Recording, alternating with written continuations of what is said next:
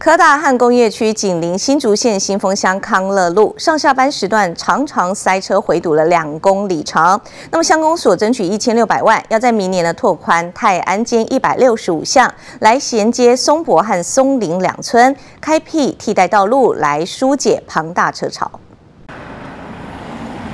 一台台计机车汇流到新丰乡康乐路，号志灯堵塞庞大车潮，乡公所就严拟开拓泰安街一百六十五巷作为替代道路。这一段路啊，哈，呃，我们如果是以照呃长度来讲，两千米的部分大概可以堵，最严重大概堵四十分钟啊。所以说，这个为了呃缓解哈，在建新路。啊，跟康乐路半中间，呃，这这个我们所有的乡亲使用道路的时候，这个是非常急需，也需要啊，在另辟跟啊加呃拓宽的一条啊马路。康乐路周围有明星科大、湖口工业区，加上台一线竹北车流，上下班时段常会回堵两公里长。目前规划在康平路底拓建联络道，共四百七十米长，衔接松柏、松林两村，能有效疏通从化区与新庄子车流。沟通征求六名地主无偿提供土地建路，也争取到中央县府补助，将用一千六百万开辟新路。八米的道路